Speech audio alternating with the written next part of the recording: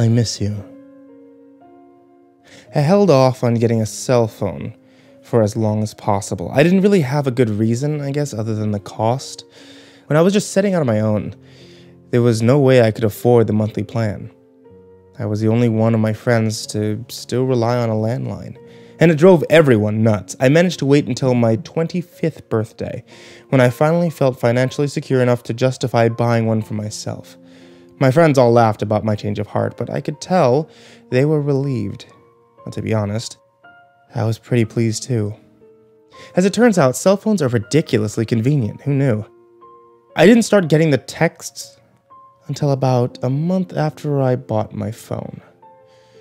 It was the first message from an unknown number that I'd received, and it read simply, I miss you.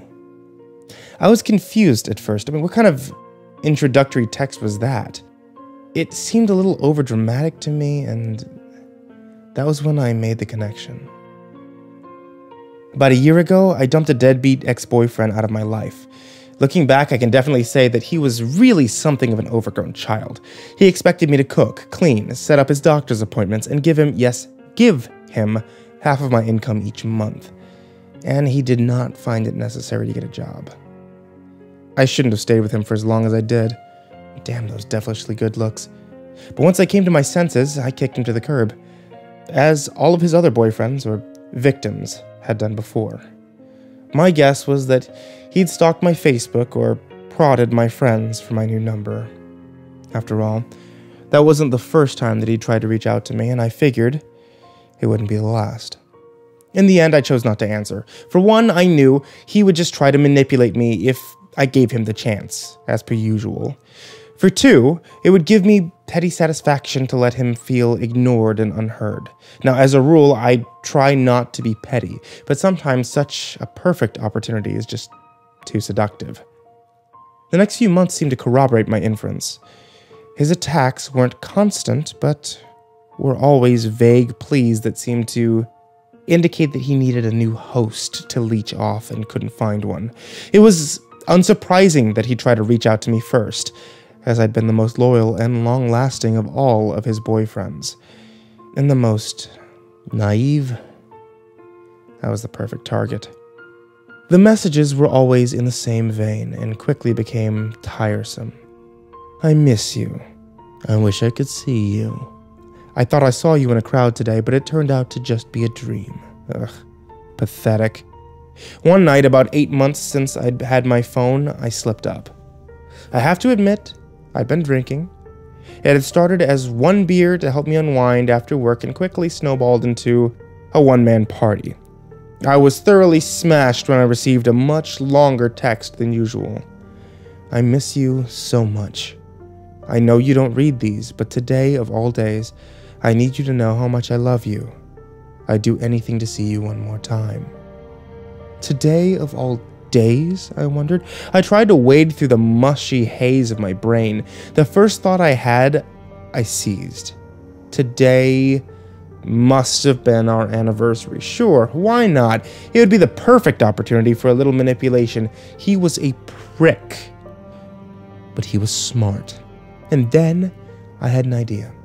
He wants to play games? Okay, let's play. But I'm going to change the rules. I swear my thoughts slurred. I began to type, and my autocorrect struggled to clarify my drunkenness. If you want to come see me, then why don't you do it?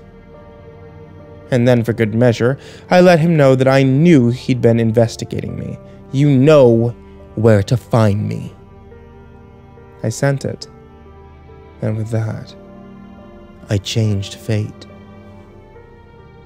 When I woke up the next morning, I had 13 missed calls. I tried to remember through the throbbing of my skull just what bullshit I'd done the night before. I groaned when my texting history answered my question. Well, at least I hadn't answered the phone, I thought. I silently prayed that he wouldn't message or call again, but I feared that I'd merely succeeded in egging him on. To my great relief, he stopped messaging me. For a week or so, my phone was blissfully free from his assaults. I was secretly satisfied, congratulating my drunken self on his ingenuity. And then the next week, I received a knock on my door. I opened it only to reveal a man with a badge, his solemn face and blue uniform standing stark in the morning sunlight. His partner stood behind him, his face hard as stone. I felt a strange coldness seep into my veins as they stared at me. Um, good morning, officers. Is there something wrong? I asked. With very little introduction, they invited themselves inside. I let them in, not sure what they were looking for, but positive they wouldn't find it. I figured they'd made a mistake and was even more surprised when they began firing questions. Do you know anyone by the name of Silence Madison? I was stumped, completely puzzled. I can't say that I do. Why? We found a series of texts to you on her phone. We found only one reply from you. The younger officer pulled out a printout of the texts that I had been receiving, and along with my one drunken reply, reality started to dawn on me as the older officer said, Did you receive these messages? Yeah, I answered. I added quickly, but they were coming from an unknown number. I thought they were from an ex boyfriend. And that's why you sent that reply. I was sweating nervously. Well, yeah. I, I thought it would make him stop. I couldn't stop running my mouth. I, I was I was a little drunk, so maybe it, it wasn't the best decision. The younger officer stepped outside as the older one sighed. There seems to be a rather unfortunate accident. What do you mean? He took a deep breath and opened his mouth. Silence had had a very rough first year of college. Classes were hard. She didn't quite fit in. Her life was a mess of stress and papers, and just when she thought it couldn't get any worse, her best friend since childhood, Rochelle Wagner, died in a car wreck. The death was instant, but Silence's pain was not. She had withdrawn into herself as the semester went on. Her family and friends mourned Rochelle's loss, but they continued their lives, as people I want to do. Silence, on the other hand, could not bring herself to leave her friend in the past. She tried to deal with it, she really did. She looked for outlets. She tried to put on a happy face when she went to class, but she sank slowly into a darkness that felt inescapable. And when the darkness was truly thick, suffocating, insufferable, she'd text Rochelle's old number.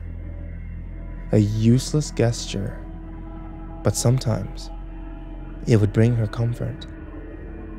And on the anniversary of Rochelle's death, when she was at her lowest, she finally got a response. If you want to come see me, then why don't you do it? You know where to find me. She tried calling, but she didn't even reach voicemail because I'd never set it up. So she'd done the only logical thing she could do. She reached for the box cutter that she'd swiped from work and opened her veins to the possibility of infinity. I made a terrible mistake that night, a mistake that ended the life of someone desperately struggling just above the surface. And her father forgave me, but no matter how many times I apologized, her mother had nothing but hatred for me. I understood that. To her, I had been the final push to kill her daughter. The police told me over and over that Silence herself had ended her own life. I was not to blame, but inside me, the seeds of guilt spread far across my heart, growing like weeds that I couldn't root. It was a long, hard year. I managed to get back on my feet and continue on with my life, although Silence's death hung over me like a shadow. No matter what I did, I just couldn't forget her.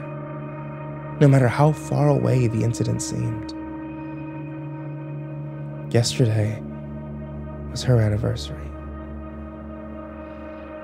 I tried my best to get through the day, pretending I, I never heard that name, never heard that story.